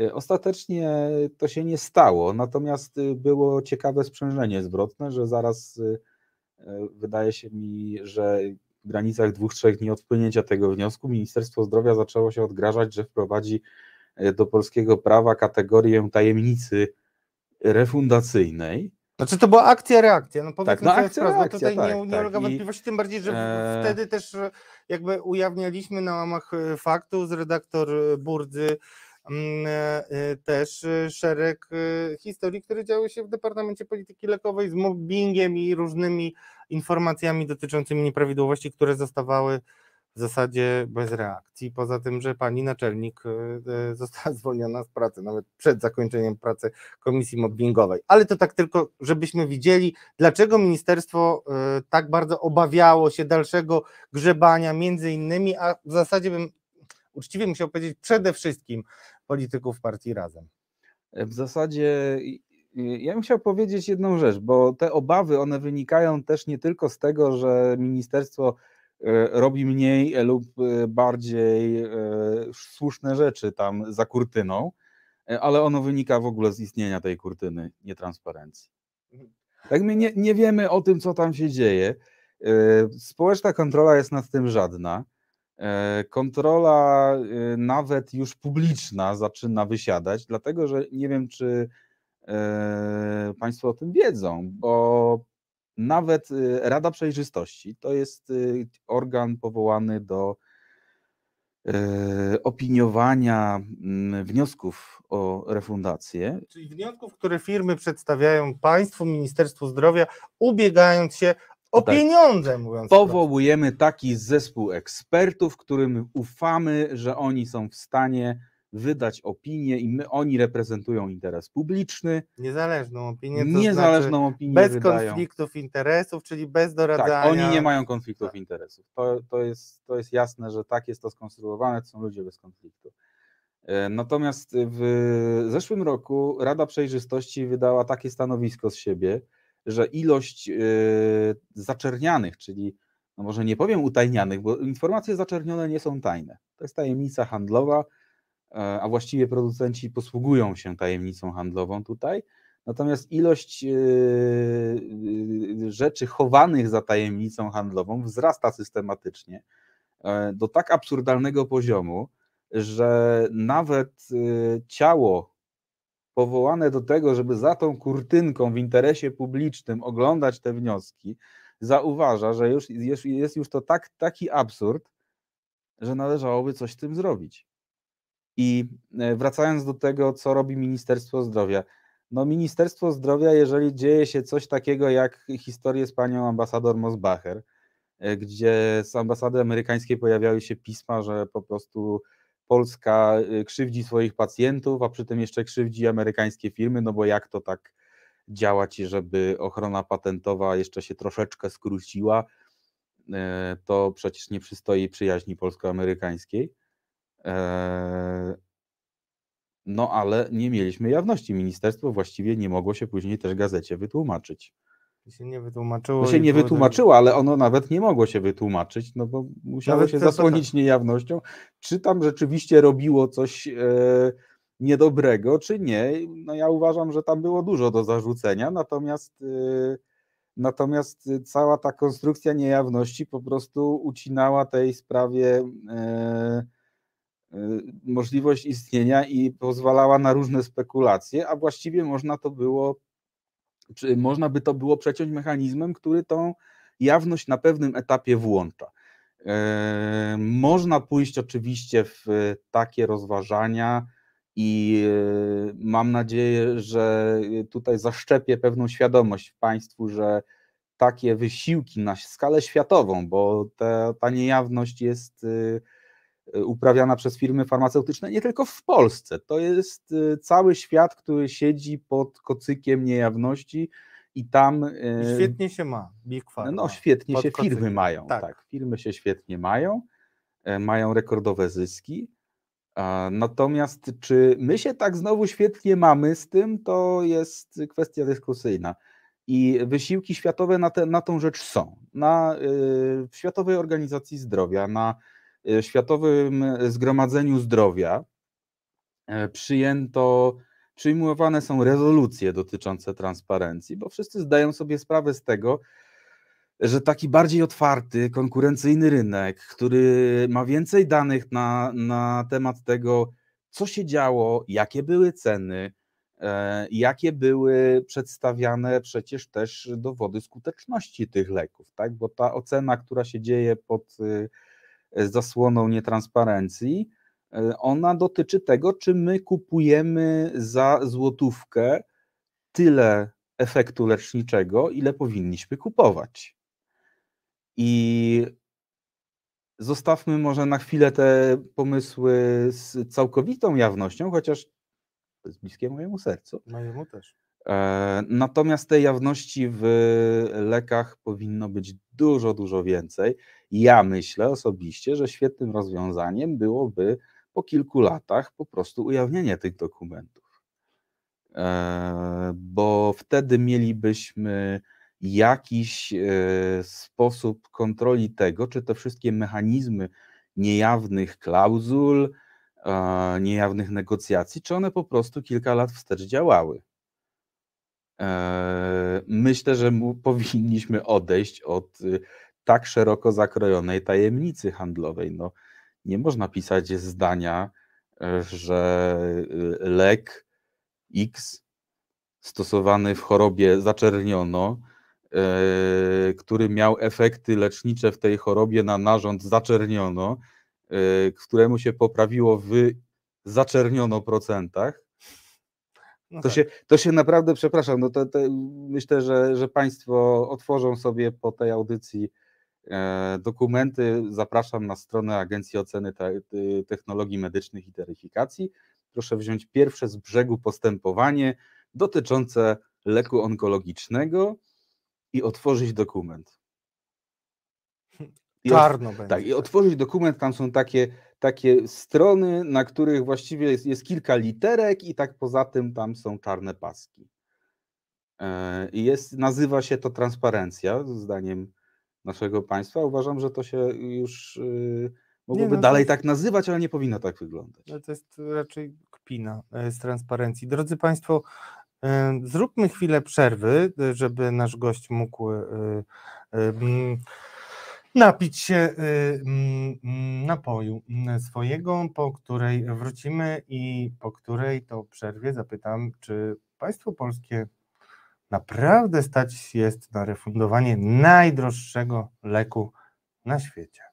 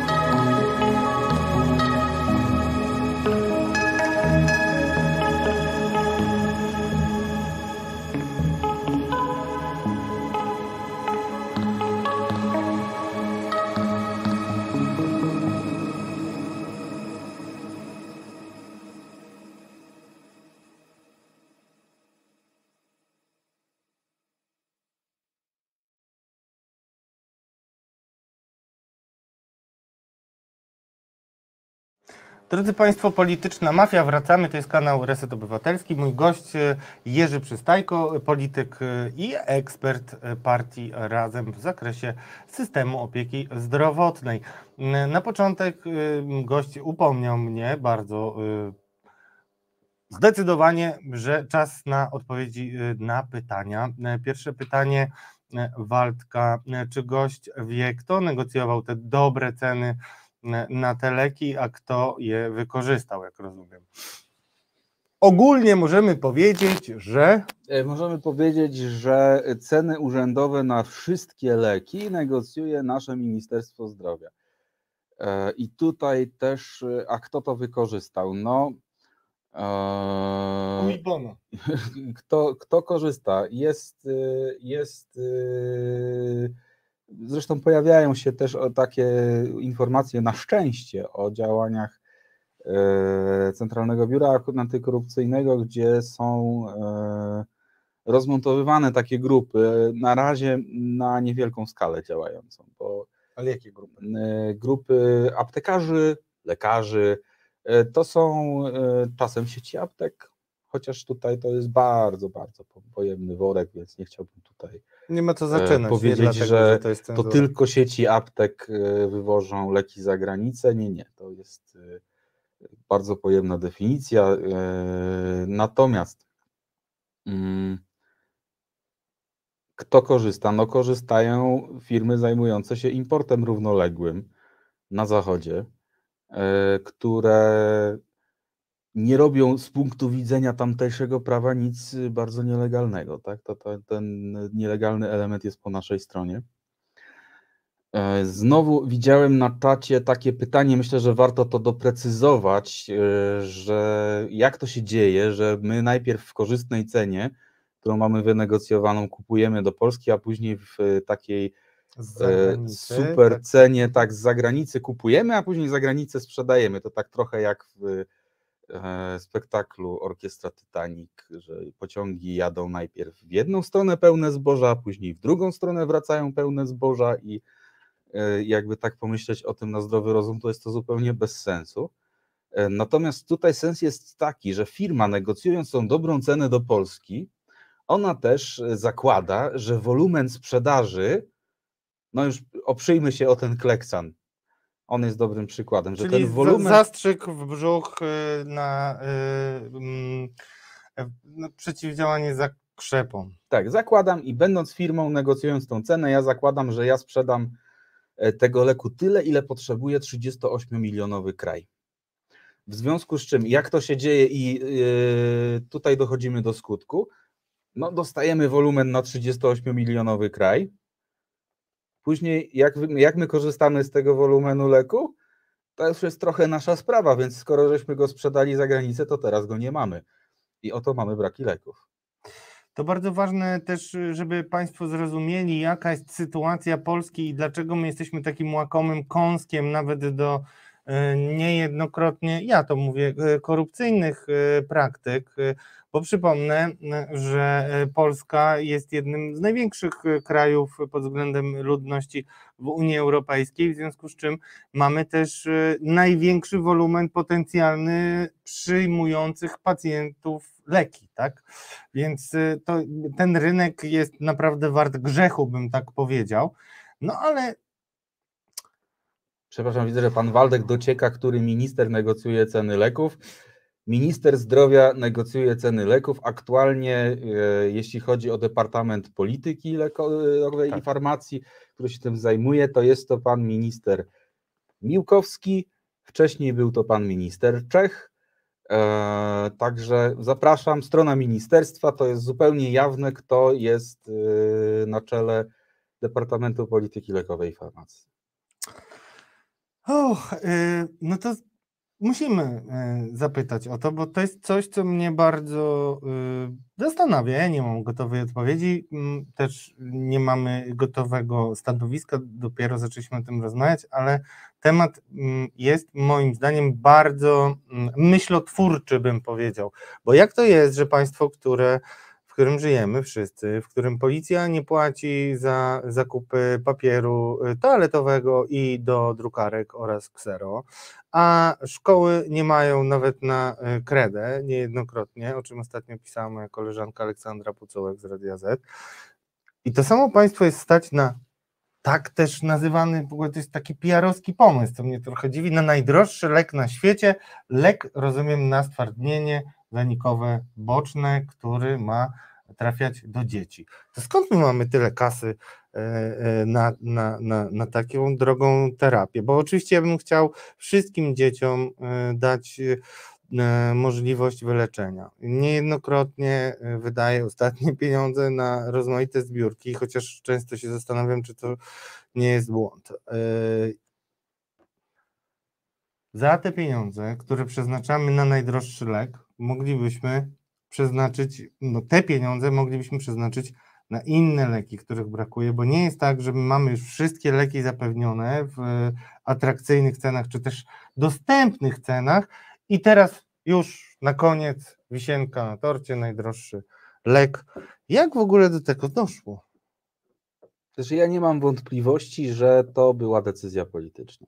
Ale to Tak, znaczy. żeby czymś się pochwalić. A kto, Eee. dla kogo to? Po co my. Aha, znaczy taka PR-owski sukces, tak? Tak, to y, My ja, ja dbamy nie mam, o biedne ten, dzieci, ten, tak? tak? ten komponent sukcesu PR-owego był bardzo ważny w tej decyzji, e, dlatego że e, no jakby ta decyzja miała zostać podjęta zgodnie z wszelkimi prawidłami tego, jak negocjuje się ceny leków, to po prostu tej refundacji by nie było. Ale mieliśmy dlaczego? tam, e, tam znaczy? mieliśmy... Jakieś e, nie dopełniono procedur? nie, czy... nie, po prostu firma zażyczyła sobie taką cenę, która według absolutnie żadnej sztuki wyceniania leków nie ma racji bytu. Znaczy ja dobrze rozumiem, że to nie musiałby być najdroższy. Znaczy okej, może musiałby być najdroższy, ale nie musiałby być tak drogi ten lek, gdybyśmy mieli inną postawę negocjacyjną i byli twardsi? To skomplikowane, natomiast e, myślę, że było do wynegocjowania więcej. Myślę, że e, tutaj e, mamy, jeśli chodzi o to pytanie dotyczące tego, skąd my mamy pieniądze, tych dzieci nie jest dużo. Mhm. Ja, ja trochę, trochę się wcielę w adwokata diabła, że ta polityczna decyzja była polityczna, Mhm. natomiast to nie jest tak, że my tych pieniędzy w NFZ nie mamy. Akurat tutaj no, stworzono y, jeden z najlepszych programów leczenia stwardnienia zanikowego y, na świecie. To żebym zrozumiał, co to znaczy, że z- jednej strony mówi Pan, że ta decyzja nie powinna e, być podjęta, rozumiem, że na takich warunkach, natomiast program jest najlepszy na świecie, to u niektórych z naszych widzów i widzek może powstać pewien dysonans, jak to rozumiem? Po prostu refundujemy wszystkie leki, które tylko istnieją na tą chorobę. Czyli zaopiekowaliśmy się tą Tegoż- grupą pacjentów, którzy rzeczywiście cierpią potwornie i ja nie, ja, drodzy Państwo, ja też y, minimalne, y, minimalna dygresja, która tłumaczy też podejście moje, które chciałbym Państwu przedstawić i zaszczepić. Jako dziennikarz, zajmujący się też dziennikarstwem śledczym, wielokrotnie spotykam się z różnymi przetargami, zakupami na setki, dziesiątki milionów złotych, czasami miliardy. Jak może taki skromny człowiek jak ja, nie będący m, też wykwalifikowanym zarówno w farmacji, jak i w e, militariach, nie wiem, i, i, i kwestii e, energetyki oceniać no, y, takie zakupy? No, oceniam je bardzo prosto. Jeżeli e, my kupujemy je za cenę wyższą niż inni, którzy mają podobne warunki, podobne wolumeny i tak dalej, no to jest to podstawa do tego, żeby zadawać pytania. Jeżeli kupujemy coś, co kupujemy jako jedyni, a są ustawione pewne warunki, które wskazują na to, że my mamy to kupić i przetarg jest fikcją, no to pytamy i tak dalej, i tak dalej. Natomiast tutaj rzeczywiście problem jest trochę nie tyle, na pewno jest to problem systemowy, ale zdajmy sobie sprawę i ja mam tego wrażenie, y, znaczy mam tego rozumienie, że pieniędzy nigdy nie wystarczy dla wszystkich i trzeba podejmować polityczne decyzje. Pytanie tylko, czy za tymi politycznymi decyzjami, nawet po to, żeby zbudować sobie dobry PR, nie idzie coś więcej. Jeżeli mamy taką kurtynę, to nie wiemy, czy możemy w ogóle i gdzie szukać tego coś więcej. To tyle ode mnie. Tak, dygresja. to jest, tak. to jest bardzo, bardzo ważne to, że właściwie nie jesteśmy w stanie w taki bardzo szczegółowy i odpowiedzialny sposób ocenić tej decyzji, dlatego że dokumenty dotyczące jej są niejawne. Nie wiemy, co się skrywa za kurtyną e, wniosków refundacyjnych i tej tajemnicy, e, jak zapadła ta decyzja. Co więcej, no właściwie w przyszłości nie będziemy wiedzieć, e, jakie wyciągną wnioski z tych negocjacji. Czy tam było za miękko, czy to było za twardo, czy to była decyzja. Ja tak uważam, że to była decyzja trochę zrobiona pod PR, ale i to była decyzja Szumowskiego, to też akurat możemy powiedzieć, prawda?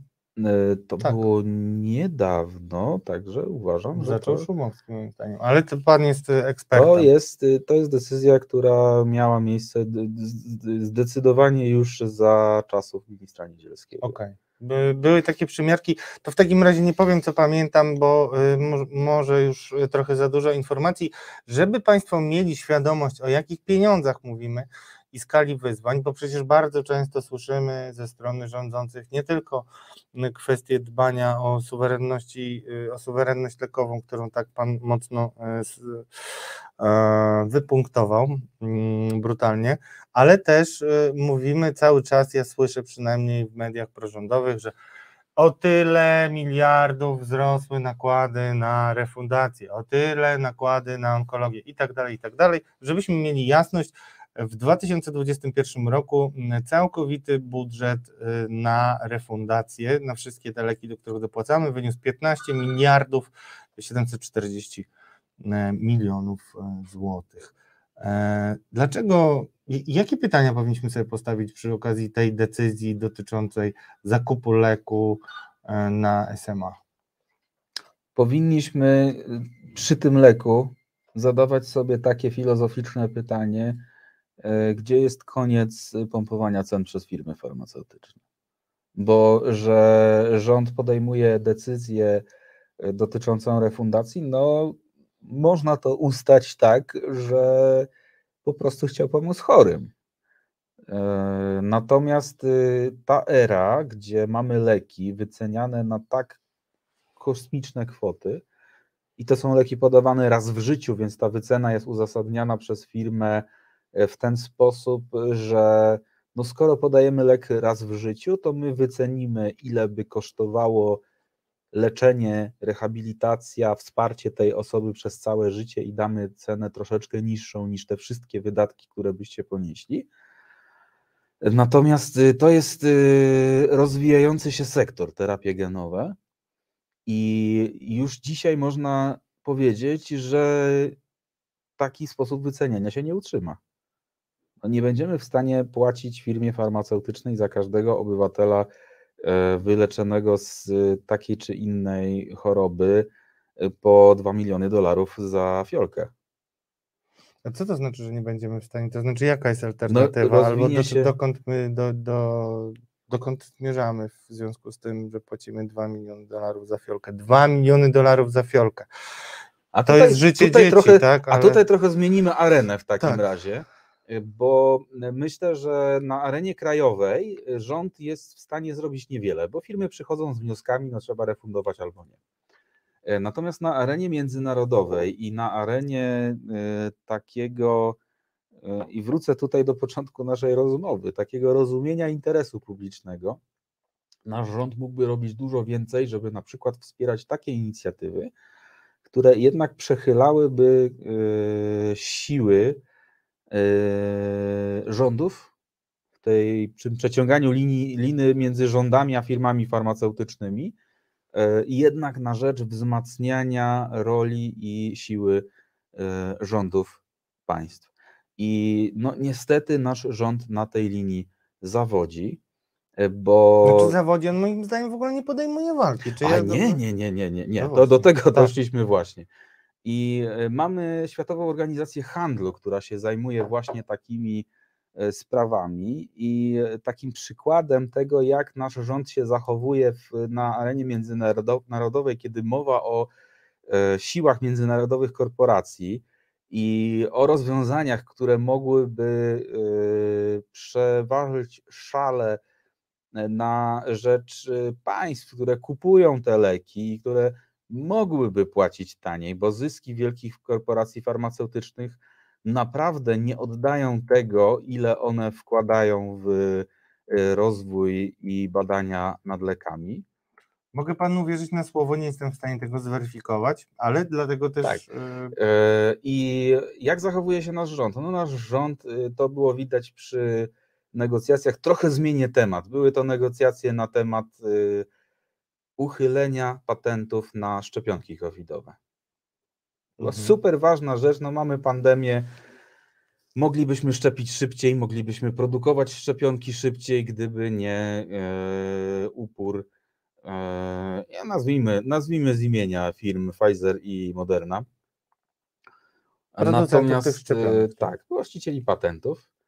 Natomiast nasz rząd y, po prostu działał na forum organizacji y, handlu, tak jakby firma Pfizer i Moderna były zarejestrowane w y, y, Jankach pod Warszawą. Jakby to byli nasi czempioni biznesu, no akurat tak się składa, że nie. No, to są czempioni amerykańscy. To są, to, są, a, to są autentyczne, można zobaczyć zapisy głosowań, jak przedstawiciele Polski głosują na e, forum Światowych Organizacji Handlu i, i się zdziwić, bo powinni reprezentować nasz kraj, a trochę to tak nie wygląda. Na chwilkę mm, cofnijmy się jeszcze do 2018 roku, bo pan e, Jerzy Przystajko był e, bardzo aktywny w sprawie, którą chcę przypomnieć. Tak a propos tej naszej rozmowy, to też będzie dość dobra puenta. mm, e, Przypomnę Państwu mm, to, co już e, kiedyś opowiadałem. W 2018 roku doszło do skandalu w e, Departamencie Polityki Lekowej. Wybuchł tam konflikt między mm, zwierzchnikami a naczelniczką, panią Edytą Matusik, e, która przez kilkanaście lat pracowała w Ministerstwie Zdrowia e, i bardzo poważnie podchodziła do swojej pracy. Sprawa trafiła do CBA i, i tutaj chciałbym poprosić pana Jerzego, żeby ocenił, na ile słuszne zarzuty w ogóle formułował e, wiceszef e, CBA. Wedle ustaleń CBA pani Edyta Matusik należy do grupy osób, które bez względu na okoliczności uznają za zasadne ciągłe, agresywne obniżanie cen leków w Polsce.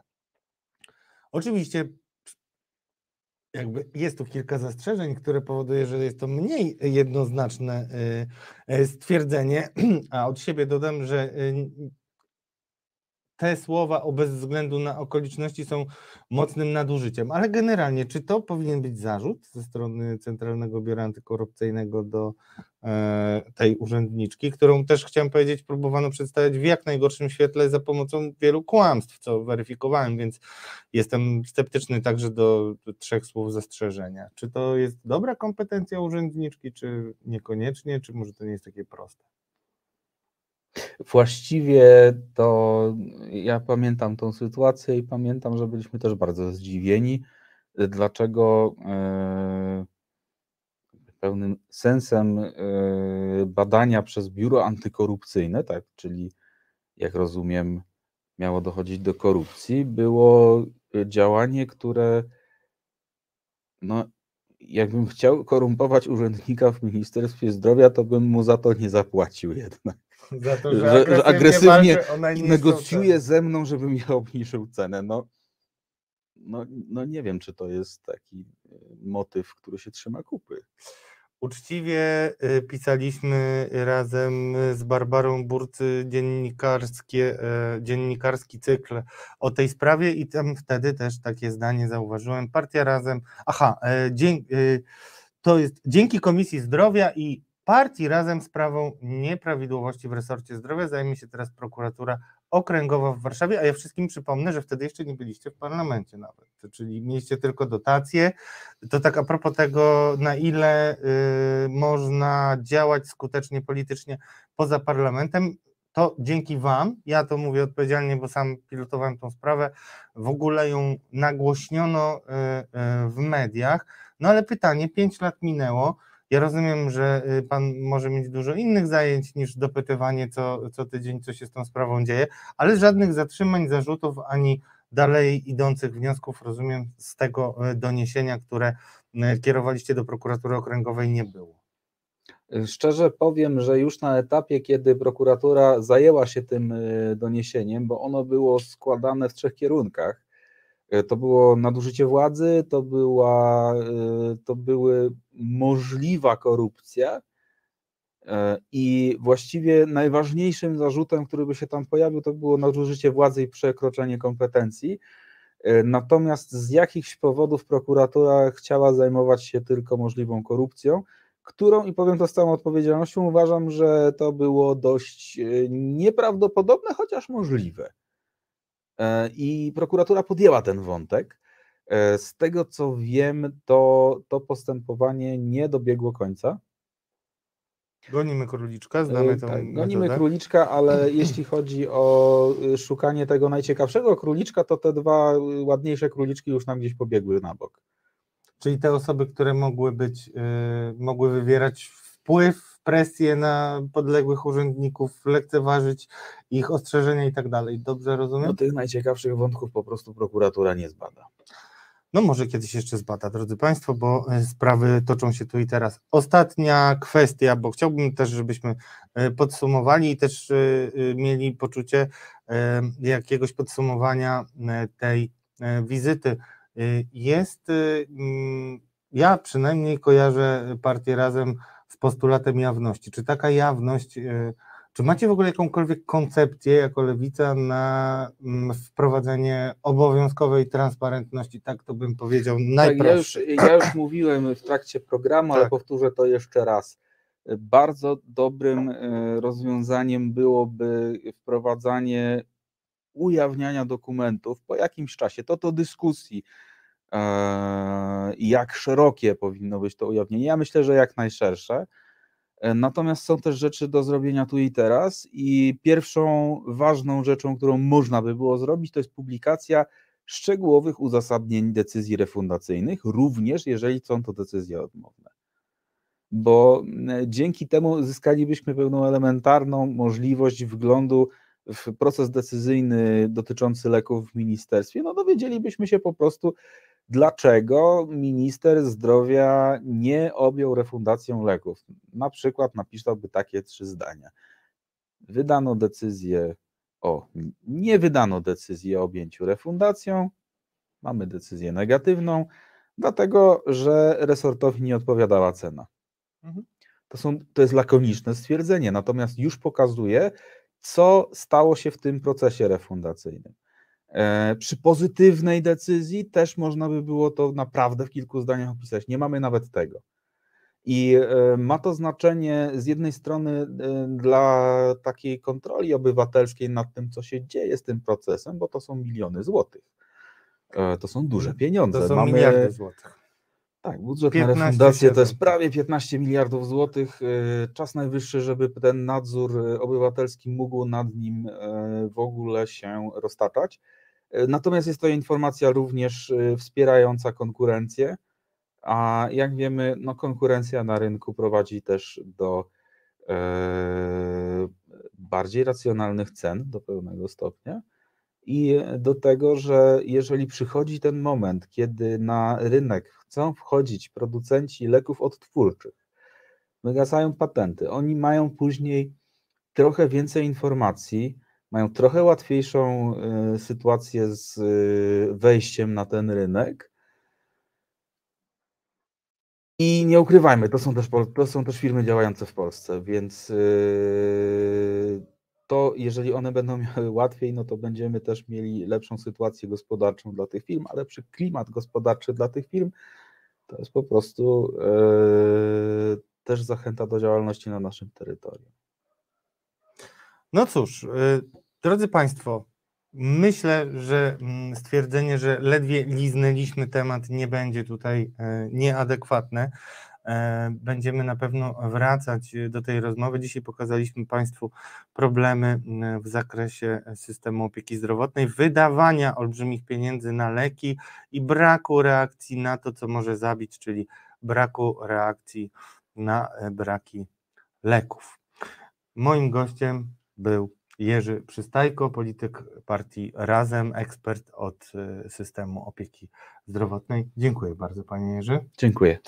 I dziękuję też e, dzisiaj Państwu. Już e, za chwilę miejsce nienumerowane na antenie Resetu, a ja dziś się żegnam, żeby zobaczyć się z Państwem jutro. Jutro rozmowa z, paną, z Panią profesor Renatą Mieńkowską-Norkienę w programie, w programie, przepraszam, bez wyjścia. Dziękuję serdecznie, dobrej nocy.